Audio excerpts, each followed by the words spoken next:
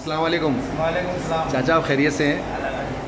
चाचा ये बकरे की रान है और माशाल्लाह ये वज़न में भी बहुत ज़्यादा है। अक्सर आप बनाते हैं थोड़ी छोटी रान ये लेकिन बड़ी रान है। ठीक है? तो चाचा मैं पूछना चाहता हूँ कि ये आप कितने मिनट में बना देंगे?